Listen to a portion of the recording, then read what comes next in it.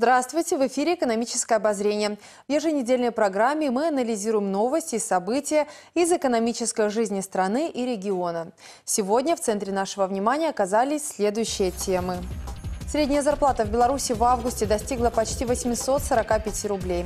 В Гомельской области она составила около 760. О расширении видов экономической деятельности, которыми можно заниматься без регистрации предпринимательства, шла речь на выездной коллегии Гомельской областной инспекции Министерства по налогам и сборам. Уже к 18 существующим видам деятельности было добавлено еще 12 видов деятельности, которые позволят физическим лицам не регистрироваться в качестве индивидуальных предпринимателей.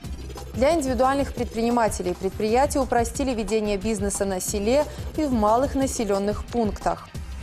Как найти работу или открыть собственное дело? В университете имени Сухого реализуют образовательный проект под названием «Успешное трудоустройство». 4 и 18 октября в Гомельском горосполкоме пройдут аукционы. На торге выставят 5 земельных участков для продажи в частную собственность. А теперь об этом и не только подробнее. Средняя зарплата в августе в Беларуси достигла почти 845 рублей. До этого она составляла менее 830 рублей. Номинальная начисленная зарплата по Гомельской области составила около 760. В областном центре она превысила 790 рублей. Среди самых успешных районов Мозырский почти 850 рублей и Речицкий чуть менее 925 рублей. Ниже всего зарплата в Лоевском чуть более 560 рублей. Что касается отраслей деятельности, то самые высокие зарплаты у айтишников – свыше двух с половиной тысяч рублей. И у работников горнодобывающей промышленности – почти две тысячи. Самая низкая номинальная начисленная зарплата у рыболовов и рыбоводов – около 400 рублей. К другим новостям. Открыть парикмахерскую, печь торты, заниматься компьютерным дизайном.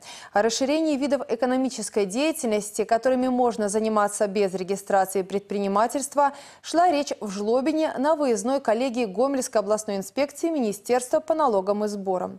Напомню, на минувшей неделе президент Беларуси подписал указ номер 337 о регулировании деятельности физических лиц.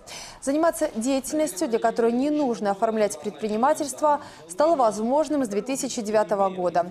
Начинали с 8 видов. За несколько лет увеличили до 18. Сейчас их уже 30. В перечень вошли, например, реализация самостоятельно приготовленных кулинарных изделий, выполнение работ по ремонту мебели, часов и обуви, пошиву одежды, парикмахерские и косметические услуги. Документ призван повысить самозанятость населения и снизить количество безработных. Условия – деятельность нужно осуществлять самостоятельно, без участия наемных работников. Нет необходимости необходимости вести какие-то учетные документы, иметь какой-то кассовый аппарат, он как ремесленник, он, э, скажем так, своим ремеслом осуществляет эту деятельность. Те самые парикмахеры, те самые работники по ремонту обуви, это их жизненная профессия, их ремесло. Поэтому пошли вот на, таки, на расширение этого списка. И я думаю, что это не предел 30 видов деятельности. Сейчас в Гомельской области видами деятельности по заявительному принципу занимаются около двух с половиной тысяч человек. Это третье место в Беларуси после Минской и Брестской области. Продолжение темы предпринимательства. Для индивидуальных предпринимателей и предприятий упростили ведение бизнеса на селе и в малых населенных пунктах. Послабления касаются сферы торговли, общественного питания и бытового обслуживания. Соответствующий указ номер 345 о развитии торговли, общественного питания и бытового обслуживания подписал президент Беларуси. Изменения направлены на развитие этих направлений на территории сельской местности малых городских поселений со средней численностью населения до 10 тысяч человек. Документ предусматривает возможность установления на отдельных территориях особого режима налогообложения с уплатой налога на прибыль для предприятий в размере 6% и единого налога для индивидуальных предпринимателей в размере одной базовой величины, а также иных упрощенных условий осуществления этих видов деятельности. Кроме того, предусматривается освобождение субъектов хозяйствования от НДС, налога на недвижимость, земельного и арендной платы за земельные участки, находящиеся в госсобственности. Продолжаем выпуск. Как найти работу или открыть собственное дело? В университете имени Сухого реализуют образовательный проект под названием «Успешное трудоустройство». В течение года пройдет ряд обучающих семинаров, тренингов, круглых столов и бизнес-встреч. Виктор Комарец посещает каждый семинар проекта. Молодой человек недавно окончил университет и находится на стартовой площадке на пути к самостоятельной жизни. Тренинги, семинары, встречи с опытными бизнесменами, представителями власти и промышленного сектора экономики помогли упростить задачу. Виктор намерен пойти в бизнес. Осталось решить, чем лучше заняться – продавать настольные игры или выращивать раков. У меня имеются идеи, которые я хочу реализовать. И, приходя на эти семинары, я хочу получить, собственно, информацию, а, какое дело лучше открыть, как это сделать, э, ну и какую систему лучше выбрать. Также буду ходить до конца уже, пройдя весь этот курс полностью. И надеюсь, что после этого всего курса я смогу открыть свое дело и как бы а, стать успешным в своей области. Чтобы найти свое место на рынке труда, важно понять, кто ты. Исполнитель? Тогда благодаря тренингам и семинарам можно научиться достойно и эффектно презентовать себя потенциальному работодателю. Или предприниматель? Тогда специальные занятия и бизнес-встречи помогут понять основные законы организации ведения собственного дела. Именно этому посвящен осенний блок проекта «Успешное трудоустройство. Дорожная карта». Открытие собственного дела – это один, это можно даже сказать, основной ресурс для поиска поиска работы на сегодняшний день. Мы рассматриваем эту проблему так, что люди, в принципе, должны понимать, что сегодня э, для того, чтобы трудоустроиться, нужно еще и создавать свой бизнес. Поскольку мы знаем, что у наших людей есть свои идеи, э, мы много чего можем, мы, в принципе, образованная нация.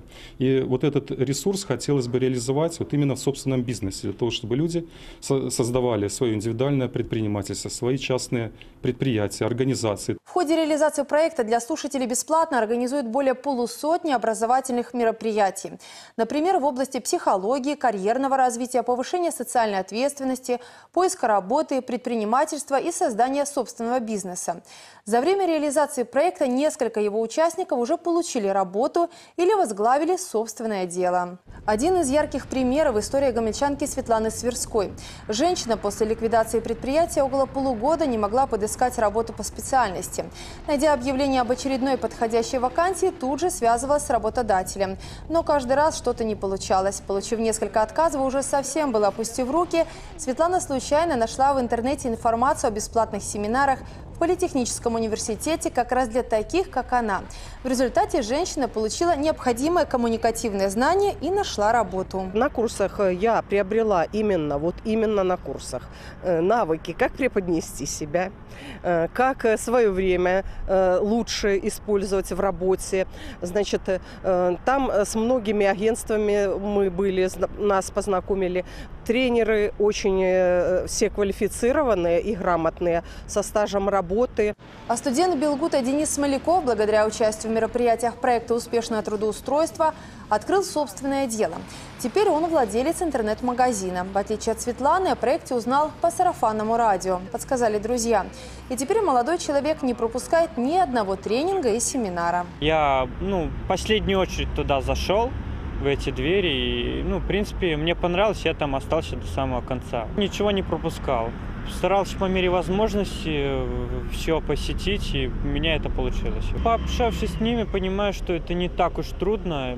Главное действовать, и нам дали рабочую, рабочую схему, как достичь кратчайшие сроки, и, в принципе, это сработало. Мы попробовали, и все, все выстрелило. И последняя новость выпуска. 4 и 18 октября в Гомельском горосполкоме пройдут аукционы. На торги выставят 5 земельных участков для продажи в частную собственность. 4 октября будет выставлен только один лот. Земельный участок расположен по улице Витебской. 18 – 4. Два из них находятся на пересечении Гвоздичной и Аграрной улиц, по одному на Проселочной улице и в поселке Новая Жизнь. Подробную информацию об условиях проведения аукционов можно получить по номерам телефонов в. Гомеле. 310948 – это землеустроительная служба Гомельского горосполкома или 41 97 86 – это Гомель Геодес-центр. На этом у меня все. До встречи.